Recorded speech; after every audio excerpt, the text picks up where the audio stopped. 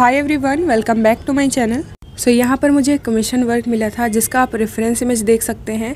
बिल्कुल ही अलग अलग रेफरेंस इमेज है। सो so, ये दोनों डिफरेंट रेफरेंस इमेज को मुझे ऐड करके ज्वाइन करके बनाना था। तो यहाँ पर मैंने आउटलाइन को ड्रॉ किया है। एंड इसके लिए मैंने पहले फ़ोटो को एडिट किया था। सो so, कुछ इस तरीके से मैंने इसको सेट किया था। तो सेट करने के लिए मैंने और भी वीडियोस अपलोड कर दिए हैं चैनल पे। तो आप देख सकते हैं अपलोडेड है वीडियो के नीचे आपको डिस्क्रिप्शन बॉक्स में उसका लिंक भी मिल जाएगा।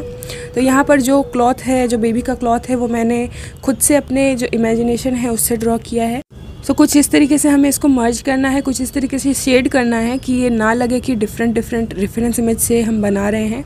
एंड अब हम इसको शेड करते हैं एंड देखते हैं कि इसका रिज़ल्ट कैसा आता है।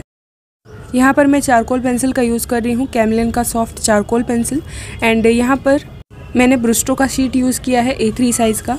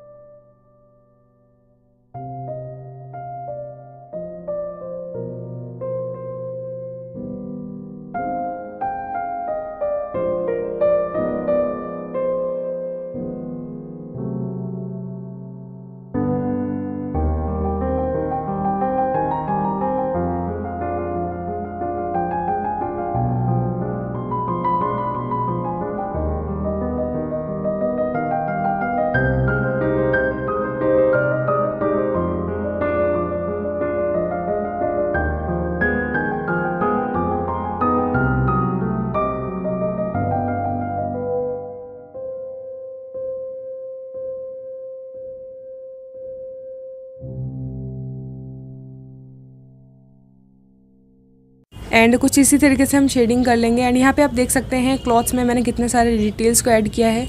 तो इससे ज़्यादा अट्रैक्टिव दिख रहा है जो क्लॉथ की डिज़ाइन है वो और भी ज़्यादा सुंदर दिख रही है।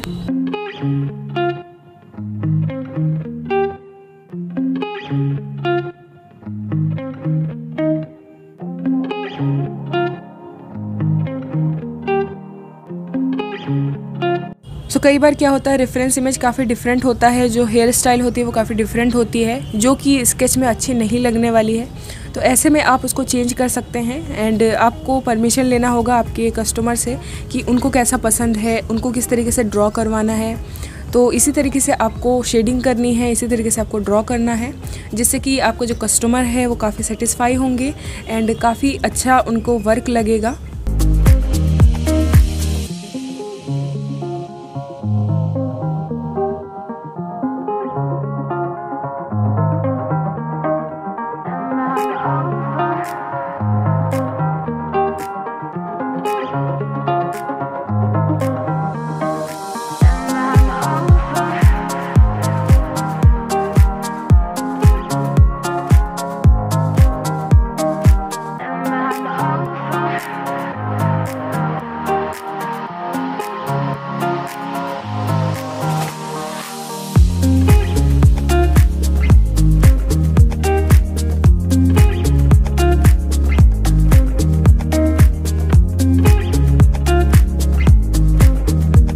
एंड ये जो क्लॉथ है इसको भी मैं अपने ही इमेजिनेशन से शेड कर रही हूँ क्योंकि जो रेफरेंस इमेज में क्लॉथ था वो काफ़ी डिफरेंट था एंड काफ़ी ब्लर था जिसकी वजह से स्केच में अच्छा भी ना लगता।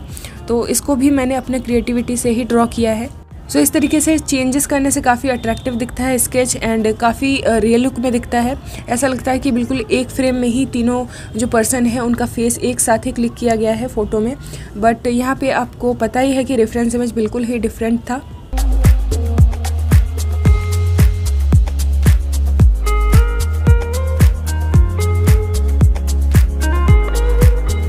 सो so, ये है इसका final result and comment section में ज़रूर बताना कि इसका रिज़ल्ट कैसा आया है। एंड आप देख सकते हैं जो अलग अलग रेफरेंस इमेज है उससे लेकर के बनाया हुआ ये बिल्कुल भी नहीं लग रहा है। बिल्कुल ही ऐसा लग रहा है कि एक फ्रेम में ही तीनों फ़ोटो जो है आ, साथ में ही है।